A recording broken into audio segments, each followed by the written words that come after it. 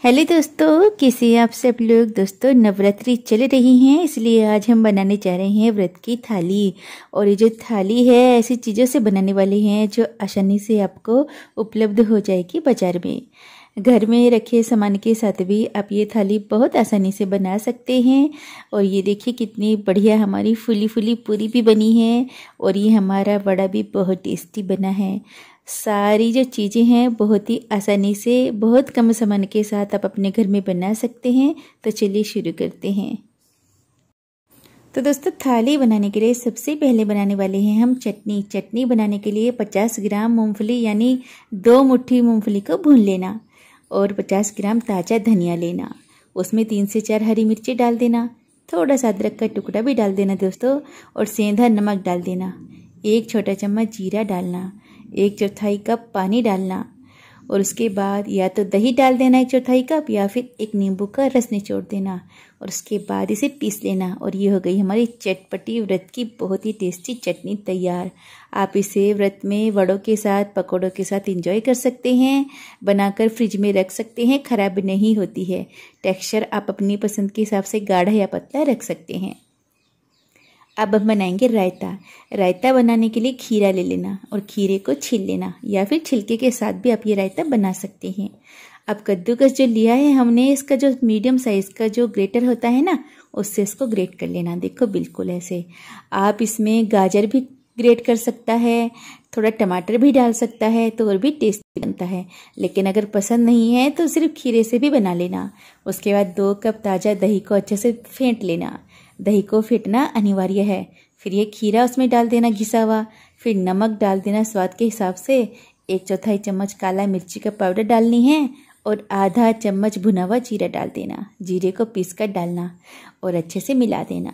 बाद में इसमें बारीक कटा हुआ हरा मिर्ची और हरा धनिया भी डाल देना और ये हमारा रायता तैयार है। अब हम बनाने वाले हैं आलू का हलवा, जो कि बहुत टेस्टी बनता है। तो इसके लिए हमने तीन से चार उबले हुए आलू को कद्दूकस कर लिया है। आज हम बादाम और काजू का हलवा बनाने वाले हैं। बहुत ही टेस्टी बनता है ये। केसर बादाम हलवा है। तो सबसे पहले आधा कप घी को गर्म कर लेना। उसके बाद 10 से 20 काजू 10 से 20 बादाम को लो फ्लेम पर रोस्ट करना। कलर चेंज होने तक रोस्ट करना है। फिर इनको बाहर निकालना। अब इसके बाद ये जो आलू है ना कद्दूकस किए हुए इनको भूनना। तो दोस्तों, आलू को ना भूनने में समय लगेगी। लगभग दस मिनट लग जाएँगे लो फ्लेम पर भूनते भूनते। जल्दबाजी कतई ना दिखाना, नहीं तो हलवा ख़राब हो जाएगी। धीमी धीमी आँच पर भुनेगा, तभी हलवा बढ़िया बनेगा। देखिए, जब इसे मैं भून रही हूँ, दस मिनट के बाद घी छोड़ दिया है इसने। दस मिनट तक लो फ्लेम पर भूनते रहना। और साइन ये है कि घी छोड़ देगी ये। जब घी छोड़ दे, तब अपनी पसंद के हिसाब से मीठा डाल देना। और केसर है तो दो चार धागे केसर के डाल देना। अगर नहीं है तो ऐसे ही बना लेना। और चीनी डालने के बाद हल्का सा लिक्विड ही आपको दिखेगा। उसके बाद वापस से दस मिनट आपको इसे लो फ्लेम पर भूनना है। और जब आपको लगने लगे कि गाढ़ा हो गया है, तब अपनी पसंद के नट्स इसमें डाल देना। हमने बादाम को और किशमिश को डाला है। आपको जो पसंद है वह डाल लेना और बिना इसके भी आप इसे डाल, बना सकता है। बहुत टेस्टी बनता है। अब इसको लो फ्लेम पर फिर से भूनना है। दोस्तों, आलू के हलवे में खास बात यह होती है कि आपको उसे लो फ्लेम पर ही भूनना होगा और लगातार चलाते हुए। हो सके तो दो दो मिनट के लिए ढक्कन लगाकर भी आप इसे भून सकता है, लेकिन फ्लेम लो ही रखनी है। और सबसे लास्ट में इसमें आधा चम्मच इलायची का पाउडर डाल देना और अच्छे से मिला देना। ये आलू का हलवा एकदम दानेदार बनती है, खिला हुआ बनती है और बहुत टेस्टी बनती है। कई बार होता है कि लोग जल्दबाजी करके आलू का हलवा बना देते हैं तो वह अच्छा नहीं बनती है। और उसके बाद ये जो भुना हुआ नट्स था, काजू बादाम, इसको टुकड़ों में कट करके डाल देना। आलू का हलवा बहुत टेस्टी बनकर तैयार है। अब हम बनाएँगे सब्ज़ी। आलू की सब्ज़ी बनाने के लिए कुकर में दो से तीन चम्मच देसी घी डालना। आधा चम्मच जीरा डाल देना। तीन लाल रंग के टमाटर और एक इंच अदरक का टुकड़ा कद्दूकस करके और दो से तीन हरी मिर्ची को बारीक कट करके डालना। अब इसमें डालना सेंधा नमक स्वाद के हिसाब से और आधा चम्मच काली मिर्ची डाल देना। अब लो फ्लेम पर भूनना, तब तक भूनना जब तक कि ये तेल लूज आउट ना कर दे। फिर एक आलू, एक उबले हुए आलू को कद्दूकस करके डालना, ठीक है? ये ज़रूरी है। आलू को कद्दूकस करके इसलिए डालना कि इससे ग्रेवी बढ़िया बनेगी सब्ज़ी की। फिर तीन से चार उबले हुए आलू को हाथों से फोड़ कर डाल देना और अच्छे से दो मिनट के लिए भून लेना। जब दो मिनट तक आप आलू को भून लें, तब इसमें अपनी पसंद के हिसाब से पानी डाल देना। सब्ज़ी गाढ़ी, पतली जैसी बनानी है, उस हिसाब से पानी डालना और पानी डालकर अच्छे से मिला देना। अब सब्ज़ी को अच्छे से मिला देंगे तो ढक्कन लगाकर इसको छः से सात मिनट पकाना लो फ्लेम पर। बस ये ध्यान रखना कि जो सब्ज़ी है, उसको मीडियम फ्लेम पर नहीं पकानी है, नहीं तो अच्छे से नहीं पकेगी। दूसरा, सब्ज़ी में लाल लाल टमाटर का इस्तेमाल करके बनाएँगे तो सब्ज़ी का कलर बहुत बढ़िया आएगा। तो लो मीडियम फ्लेम पर इसको छः से सात मिनट पका लेना। ढक्कन लगाकर सीटी नहीं लगानी है, ऐसे ही पकाना है। अब हम बनाएँगे साबुदाना वड़ा। आलू की सब्ज़ी बन गई है। गैस बंद कर देना। अब वड़ा बनाते हैं। वड़ा बनाने के लिए 250 ग्राम साबुदाना को चार घंटे के लिए पानी में भिगो देना। साबुदाना एकदम खिला खिला होना चाहिए। पानी नहीं होना चाहिए इसमें। अगर पानी है तो छलनी में डाल देना और पानी को अच्छे से निकलने देना। उसके बाद ढाई ग्राम ही उबले हुए आलू को कद्दूकस कर लेना। हाथों से नहीं फोड़नी है, कद्दूकस करना। दो से तीन हरी मिर्ची को बारीक कट कर लेना और थोड़ा सा हरा धनिया भी कट करके लेना। सौ ग्राम भुनी हुई मूंगफली है, जिसको पाउडर बना लेना या फिर हल्का दरदरा रखना। दरदरा रखने से टेस्ट ज़्यादा अच्छा आती है। वन टीस्पून जीरा डाल देना और दो नींबू का रस डालना। साथ में डाल देना इसमें आप काली मिर्ची का पाउडर आधी चम्मच के करीब और सारा चीज़ों को अच्छे से मिला देना। फिर उसके बाद जब अच्छे से मिल जाए, तब अपनी पसंद के हिसाब से टिक्कियों की शेप दे देना। तो यहाँ पर ये मिश्रण तैयार है, हमें इन्हें टिक्कियों की शेप देनी है। तो शेप देने के लिए हाथों पे थोड़ा सा घी या तेल लगा लेना और उसके बाद इन्हें शेप देना। तो दोस्तों, आप ना इस मिश्रण को बना के फ्रिज में भी रख सकता है और जब भी आपको बनाना हो आप इसे फटाफट बाहर निकालिए और ये वड़ा बना सकता है। इस तरीके से बनाया गया साबुदाने का वड़ा बहुत क्रिस्पी बनता है, बहुत टेस्टी बनता है और हम इसे डीप फ्राई भी नहीं करने वाले हैं।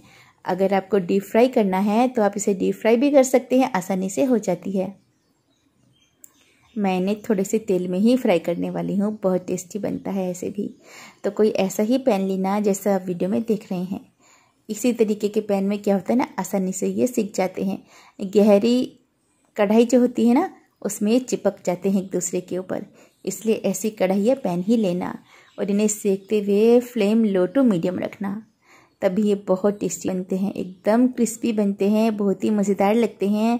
व्रत के अलावा आप इन्हें कभी भी खा सकते हैं। बहुत अच्छा नाश्ता होता है ये तो जब भी मन करे, ये नाश्ता बनाकर अब खाना बच्चों से लेके बड़ों तक सभी को ये बहुत पसंद आता है। तो बस टिक्कियाँ बन गई है, इन्हें बाहर निकाल लेना। आप इन्हें ऐसे दही या चटनी के साथ खा सकते हैं, बहुत टेस्टी लगते हैं। अब हम बनाएँगे साबुदाने का खिचड़ी। देखिए कितना खिला खिला खिचड़ी बना है। अक्सर लोग कहते हैं कि उनकी खिचड़ी चिपचिपी बनती है। चिपचिपी बनने की वजह यह होती है, मैं आपको बताऊँगी। ये देखो, ये जो साबुदाना है ना, ये 200 ग्राम्स हमने लिया है। और जितना साबुदाना था, आप उसको एक कटोरी में डालें और उसको बस उतना ही भिगोना है कि वो अच्छे से डूब जाए।